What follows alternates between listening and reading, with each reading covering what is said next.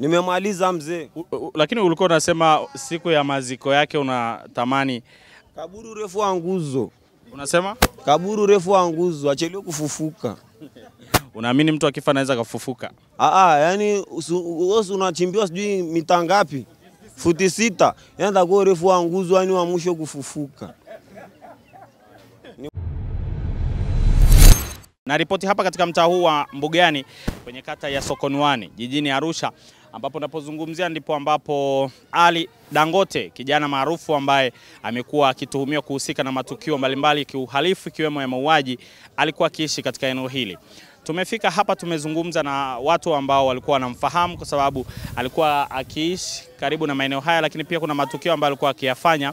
Watu wanasema kwamba sasa hivi hawaogopi tena. Watu walikuwa wanaogopa kuamka asubuhi au alfajiri, au wakati mwingine walikuwa wanawahi kulala kutokana na hofu ya kwamba endapo takutana naye huenda akafanya jambo ambalo uh, likaleta ma madhara. Wewe umetuambia kwamba ulikuwa unamfahamu jamaa Huyo jamani ni mwizi mdogo mdogo, ni mwizi mkubwa eh, ni muuaji, anatakuwa na yeye afe.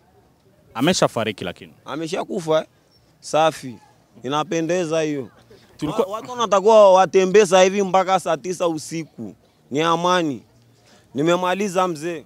Lakini ulikuwa unasema siku ya maziko yake unatamani, Kaburu refu wa nguzo, unasema kaburu refu wa nguzo, achelewe kufufuka. Unaamini mtu akifa anaweza kafufuka? Ah, yani wewe unachimbiwa sijui mita ngapi, futi sita, yani takuwa urefu wa nguzo, yani wa mwisho kufufuka. Ya, tunashukuru kwa sababu ni miongoni mwa vijana waliotusumbua, kwa sababu tukio lolote kama ile hakuna mtu atakalifurahia. kalifurahia. Kwa tunasema asante Mungu, imetokea hivyo. Mungu ametangulia mbele za haki, angalau tuwe na amani na furaha, kwa sababu matukio kama haya yanaogopesha. Hasa jiulize, ni mtu mmoja tu, watu walikuwa wanalala saa moja, saa mbili kasoro wako ndani. Wangekuwa watu watatu, ingekuwaje? Ingekuwa ni balaa zaidi. Wewe ulishawahi kukutana naye? Ya, ni kijana namjua kwa sababu baba yake ni rafiki yangu, yeye mwenyewe namjua makuzi yake tangu kuzaliwa kwake, kwa hiyo namfahamu kiasi fulani.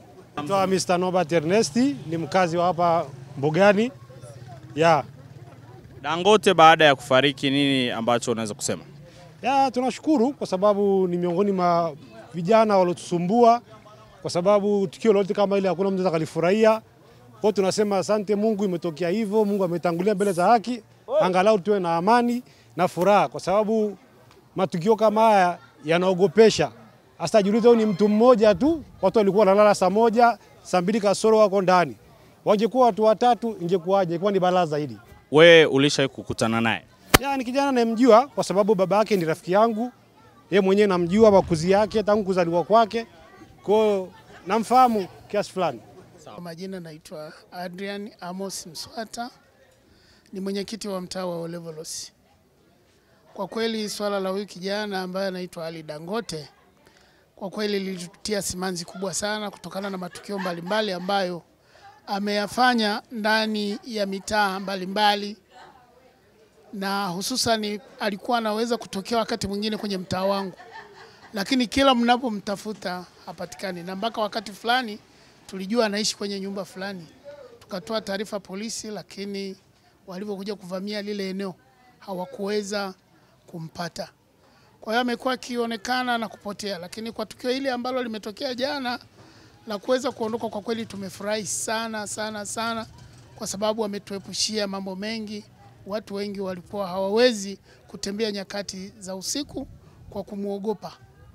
Kwa hiyo kila mtu alikuwa anakimbia mapema na rudi nyumbani kwake kwa kumwogopa huyu kijana, maana anaweza akamdhuru mtu pasipo sababu ya aina yoyote. Hata mimi mwenyewe nilikuwa ninaogopa, kwa sababu mimi ni binadamu kama binadamu mwingine, na yule kama namdhuru mtu pasipo sababu, kwa hiyo hata mimi pia ningeweza nikadhurika kwa ajili ya hilo, na hili linawezekana kwa sababu um, kila alipokuwa anaonekana unamwona yule pale, lakini akishapiga kona tu mara moja huwezi ukamwona tena. Na hili ndio maana kwa muda wowote wa wiki hizi mbili akiwa anatafutwa akawa hawezi kupatikana. Kwa hiyo mpaka juzi alivyoweza kukatwa angalau mgongoni, nadhani ndio imepelekea kuweza kukamatwa kwake. Ah, Kwa majina mimi naitwa Mike kwa jina la mtaa, lakini sasa kwa upande wetu kiukweli, sisi wenyewe watu wazima tulikuwa hatuwezi kukaa nje hadi saa mbili. Kwa hiyo kwa kufa kwake tumekuwa na amani kiukweli, kiukweli tumekuwa na amani, watu wanatembea, kila mtu unayemwona na fulani, imekuwa kama sherehe, kwa sababu ni mtu ambaye amenyima amani mtaa mzima, yani karibia mitaa mizima ya Arusha tulikuwa tuishiwa amani. Eh, alikuwa amezaliwa huku, wazazi wake tunawajua, lakini sasa ndio hivyo, tabia ilishabadilika, sio tena mtu ambaye anaweza akajichanganya na jamii. Mimi kwa jina naitwa Joshua Samuel, ni mjumbe serikali ya mtaa. Huu mtaa ni mtaa wa Senevuno. Nafikiri matatizo mtaa mengi waga natolewaga taarifa kwenu, sawa, lakini cha kushangaza kitu kimoja, huu mtaa mimi nalaumu kitu kimoja kwenye huu mtaa, wamama wengi wanashirikiana na vibaka. Moja hiyo eleweke. Nafikiri ukibaka kibaka alileta matatizo kama hayo, siku mingi angekamatwa, isipokuwa uwaga wanafichaga siri kwenye mta mkae mkijua. Na lawama mingi yenyewe ndo wanaanza kutoa lawama hivyo hivyo, kulaumu serikali ya mtaa na matatizo na nini kila kitu, kumbe kumbe wamama wengi wanashirikiana na matatizo.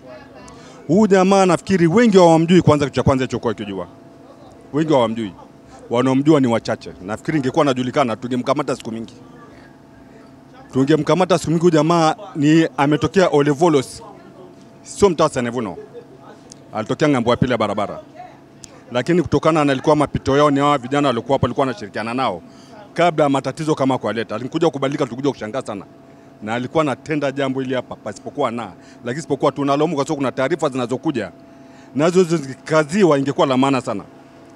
Babu yake alishatoa kauli ya kwamba hata kaa kamatwa kijana kwa hiyo ina maana kuna nguvu za giza ndani yake, mke mkijua, sio kwamba ni amani. Ina maana siku ya jana kuamkia leo na kuendelea, nafikiri nasema mitaa yote iko kama imeingia kwenye siku ya kuzaliwa kwa furaha iliyokuwa nayo, kwa sababu alikuwa anatutisha muda saa kumi, watu wanachanganyikiwa, tunaomba giza lisiingie, alafu ni mtu ajulikani sana, ni mtoto mdogo juu hajulikani na wengi, kwa alitutisha watu wengi sana na walituchanganya watu wengi sana.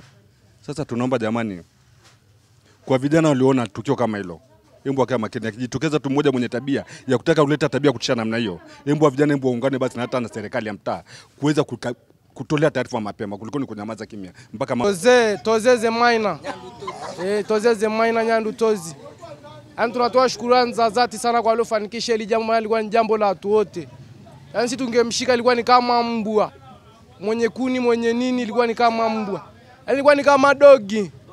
Waliolifanikisha shukrani zao sana, kama yani atakuwa pewa hata milioni kadhaa kadhaa. Serikali waangalie sana. Alitoka jela, alivyotoka kaa ni kumba kumba, julikani ya haya, analala mahali yote kwenye mazimbu ya gongo. Hiyo mambo ya uchawi sasa, wanasema irizi alikutwa na irizi, atukua kwenye eneo la tukio, lakini waliolifanikisha tunawapa shukrani zao za dhati. Jana nilikuwa kazini, nilikuwa ituzedi jana, jana nilikuwa kiwandani jana taarifa ndo kama hivi mitandaoni, simu, picha zikatumwa, kumwangalia ndo kijana mwenyewe. Sura ni ngumu kweli, anaonekana ile hiyo kazi anaiweza, sura ni ngumu, yaani ni kazi yake. Yaani leo nimeamka mapema sana, nilikuwa kwenye masuala ya kukusanya la uchafu asubuhi, nimeamka mapema sana kiongozi.